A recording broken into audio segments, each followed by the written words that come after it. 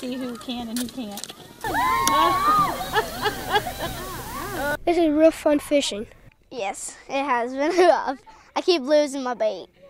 The last time I hit a rock and it flew off. Fishing's been good today. I like most about catching fish. When you catch them, it gets really exciting. I like going fishing because I just like getting to fish. It's fun. Miss Sock, my teacher, um, ordered them at the beginning of the year, and then over the year they've reproduced for the, this fishing trip, and now that we now we're here and we have the worms. My favorite part, part about fishing is catching fish because it's fun to eat them. I just like get to throw it out and put worms on it and keep doing it over and over and talk to my friends. Today fishing has been good.